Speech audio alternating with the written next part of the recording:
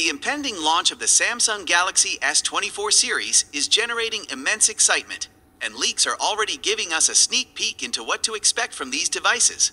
The latest leak reveals some interesting details about the lineup.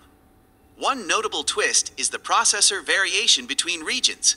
The Galaxy S24 and S24 Plus models will feature the Snapdragon 8 Gen 3 processor in the US and Canada, while elsewhere, they'll house the Exynos 2400 processor.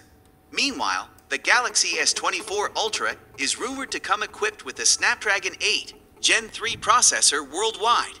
Following the success of the Galaxy S23 series, Samsung seems to be aiming for crowd pleasing offerings with potentially more wallet friendly prices than their predecessors. This approach might make these devices more accessible to a broader range of users.